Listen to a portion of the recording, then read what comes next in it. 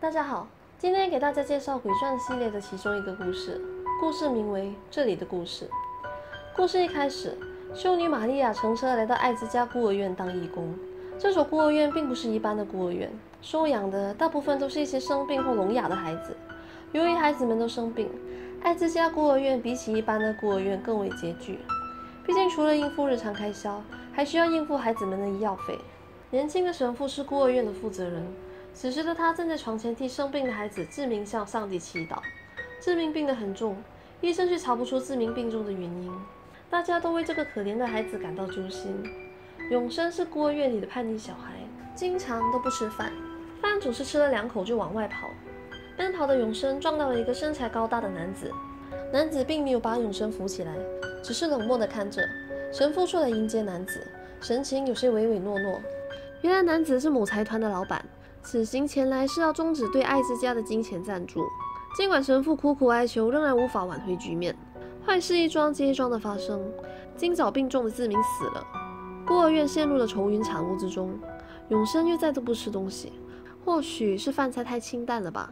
玛利亚建议订披萨给孩子们吃，毕竟她从来没有见过不爱吃披萨的小孩。神父婉拒了玛利亚的建议，毕竟赞助商们随时都可能来访。媒体对艾滋家的关注度也很高，如若他们看到孩子们吃这种东西，会不高兴的。因为说白了，他们认为这不符合孤儿院孤儿的身份。毕竟很多人都只喜欢对比自己更可怜的人伸出援手，所以为今之计，只有让孤儿们适应这里的食物。玛利亚听了神父的话，想起了永生不吃东西，或许就是抓住了可怜才能获得爱心的点，想要得到关注。才刚走到永生身边。突然听到了孤儿院又一个孩子去世的消息，神父的情绪更加低落了。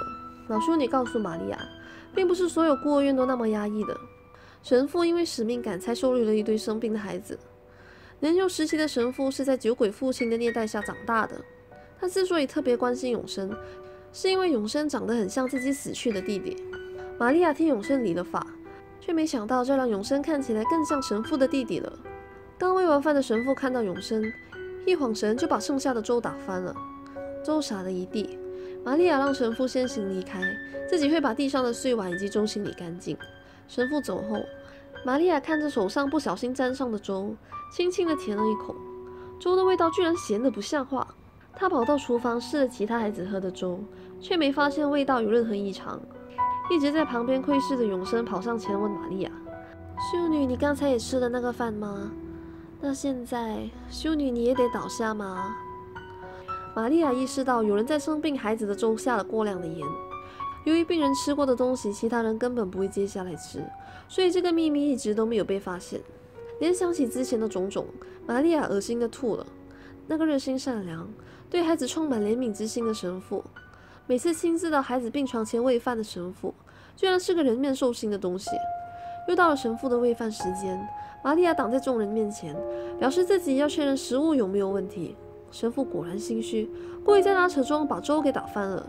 玛利亚再一次尝了粥，果然是咸的。他恳求大家相信他的话，但身边的人只觉得或许他是看到太多死去的小孩，精神错乱了。甚至有人说，粥之所以是咸的，应该也是因为玛利亚的手是咸的。玛利亚愤然收拾行李，准备去告发神父。临走前却做了一个非常愚笨的决定。都说反派死于话多，其实好人又何尝不是？他临走前告诉神父，他会去教区告发他，不让他继续害人。也就在下楼梯的时候，被神父狠狠地推了一把，摔成了植物人。他最终还是没能离开这里。神父温柔地坐在玛利亚身旁，宛如一个以德报怨的圣人。深夜，神父来到玛利亚身边，永生也来了。他问神父：“说是你让修女阿姨生病的吗？像其他的哥哥妹妹一样？”神父露出了不屑的笑脸，说：“永生实在很像自己死去的弟弟，也很像他。”画面跳转回神父小时候的记忆，在妈妈的丧礼上，长期受到家暴的神父第一次感受到来自亲戚的温情。这份温情并没有持续很久，然而不久后，父亲意外死了。他再一次感受到那短暂的温情。后来，他来到孤儿院，开始用装病来获取同情。同样的，一开始非常重小，但随着弟弟的生病，他再次失去了被同情、被关注的感觉。一天，他问老师：“人最大的伤痛是什么？”老师随口一句：“谁知道？应该是家人离开人世吧。”让神父意识到自己还有一次机会可以得到关爱。弟弟被他弄死了，没有家人再可以失去了。于是他来到了教会，认识了新的家人们。他认为永生是和自己一样的人。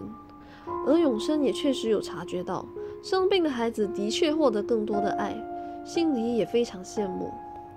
神父兴奋地说了一堆歪理。然而，就当我以为永生就要狗带的时候，画面转到了永生上了初中的模样。他拿着鲜花祭拜去世已久的玛利亚。由于玛利亚临死前的话引起了志愿者们的疑心，神父很快就被揭发了。他选择去一个很多人的地方跳楼自杀。临死前最后一次获得了人们的同情。不久后，孤儿院也倒闭了，因此永生被遣送到其他孤儿院。他感觉自己这一次也能在新的家人们身上得到关爱。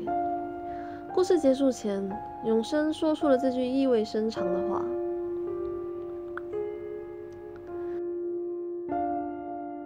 在这里给大家科普一下，画面中提及的孟乔森综合症，其实指的是一种通过描述。幻想疾病症状，假装有病，甚至主动伤害自己或他人以取得同情心的心理疾病。有趣在于，虽然患者喜欢谎称自己有病，乐意接受照顾以及治疗，却不愿意承认自己患有孟乔森综合症，并拒绝疏导以及沟通。好吧，说回正题，神父并没有看错永生，永生确实和他是一类人。结尾永生的那句话也暗示了将来他会走和神父一样的路。把新的家人们送去见死去的玛利亚。另外，故事中有一点其实还挺有趣的：较为年长的神父能看出永生想要获取同情心，或许不奇怪。可是为什么年幼的永生能看穿神父对其他孩子们的别有居心呢？只因他们都是同一类的人，没有人比同类更了解同类。或许真的有一类人能够看穿别人的心思，但有这种能力的人其实少之又少，更多的仅仅是自以为能够看穿而已。好啦，又到了影片的尾声。喜欢我影片的朋友，欢迎点赞分享哦。点击订阅旁的铃铛，以第一时间获取我的更新。我是魔女嘉尔，我们下期见。